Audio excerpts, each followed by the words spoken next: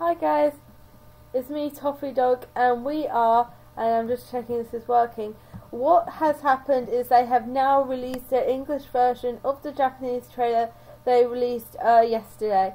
Now yesterday's video didn't quite go to plan because I said something that was a bit out of place and so my video got blocked. So I'm hoping this time, I am a bit reluctant to record, I'm not going to lie, but I feel like as long as I just don't use any sarcasm, I should be good. But we're going to see the EU tra- well not the well I call it EU trailer because it's in England and English and we'll probably get some more specific information. So this is on Nerdist, this is on a website, this is the first website that came up about the information. And also I'm going to give you guys a bit more of an in-depth opinion about the Pokemon. This analysis is still going to happen.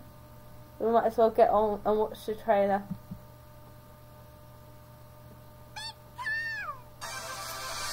Okay, this is... Ah, okay. So, this is the guardian of the island, which I guess is one of the four, I believe. I believe they showed a map of four. And I'm not gonna lie, at first I wasn't over keen on it. But I think with all these Pokemon, they've kind of grown on me a little. I really like this Pokemon where it closes up. Maybe in um, full form like this when it's got its wings or its those sections out it's not so great. But I love it when it's sort of clasped together. Okay this is what I mean right here. This is I really like it when it's in here. And I must admit I think I would love to see it in a 360 view which they do show us. Um, oh gosh I'm going to try and pronounce this. I apologise if I pronounce this wrong Tapu Koko. I'm going to say Coco because that's how we'll pronounce it. And it's Electric Fairy. So that's a really cool typing.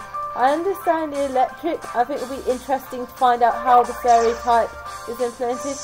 Okay, we've got Electrical Surge. I think this is a U ability or a U move. Yes, Nate. Oh my gosh. Now that sounds cool. Robin. Yes, this is a full evolutionary line.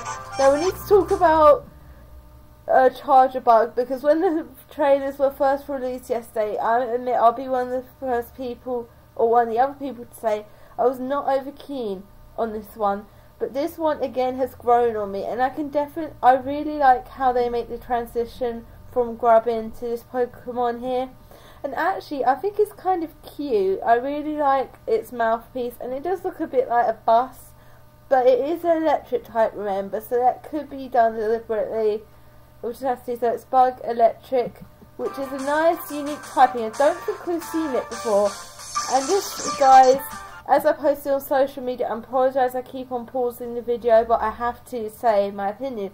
This is one of my favourite new Pokemon so far. I will definitely be using it in the new game. I am using it no matter what. I don't care how hard it's going to be to get if I don't think it will be hard.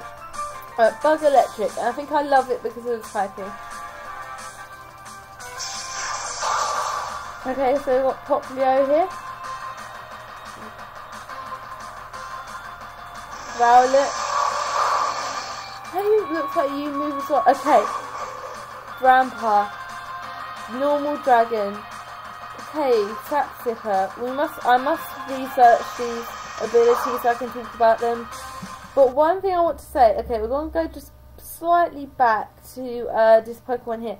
Now, I have this theory.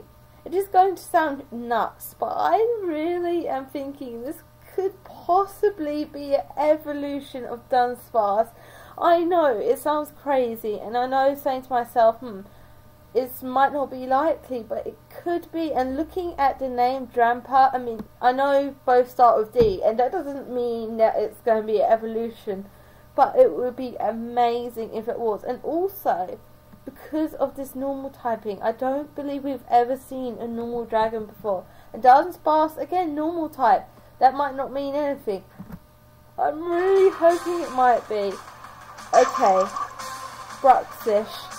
Now, okay, so this, I'm not gonna lie, is my least favourite out of them all. Again, it's grown on me a bit, but I think I addressed what bothers me about this Pokemon. I think it's the lips. the colouring itself is fine, and the colouring I actually like, but I think it's the lips that's putting me off. But I do like the little flower detail, but I really hope that it evolves and that flower becomes more of a part of its body. And I love the typing as well. The, I love this game so far because it offers so many unique typings, or what I see as unique typings that I would just would love to see. So I'm just going to shut up for a little bit. Oh my gosh. Okay, okay. One thing. This is my second favorite Pokemon, and I love it. it. I don't know why, but it reminds me a little bit of um. Oh gosh. Ah, it reminds me of another Pokemon from X and Y. Um, Talonflame's first evolution. I can't believe I forgot. Um, but I love this Pokemon's design. Bug and Fairy again. The typing's great. I want to see how Fairy comes into the typing. Now this is. Oh gosh, I'm going to try and pronounce this name. Toji Togedemaru and it's apparently based off a hedgehog. So this is what we call a Pokemon clone. If you're not aware of what a Pokemon clone is, it's sort of a Pokemon that looks like Pikachu, and so far it's been implemented in every generation since Generation 1 when Pikachu and Raichu appeared. I think Raichu obviously appeared in the first generation. And then we got Pichu, and then we got Plasmon and then we got Emolga. And what's nice about this, this is I was joking about this, was they actually had Emolga, one of the other Pikachu clones, battle with it. So it's sort of just to let you know this is going to be a Pikachu clone. But this is another new Pokemon. Oh my, oh my gosh, I'm really looking forward to 25%. Don't know how I'm feeling about this still. So, November 18th, we're getting it on the 23rd in Europe, but I'm thinking about either getting it for Christmas or get saving up for it myself. If I do save up for it myself, I will play it once and then I will do a walkthrough. But I want to play it through first.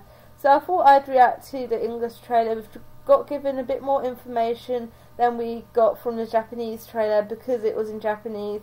We couldn't understand necessarily everything. But I'm I'm psyched. We've been given such an insane amount of information so far. I mean, we went a long while without getting any information. But to be fair, you know, this is more than worth the wait. And we've still got months to go to the release. And if they stop with the information now, I don't think they will, but if they do stop, actually I'll be fine with it because we've been given so much. But I'm going to end it here. Like the other one, if you want to leave a comment in the comment section below what you think of these new Pokemon, what you want to see their evolutions, like the Bruxish fish, I think I pronounced the name right, do you want to see evolution for that? Because I really do. I really feel like it could have a lot of potential. And do you think that um, Pokemon? Uh, I'm going to try and find it again so I can actually look up the name.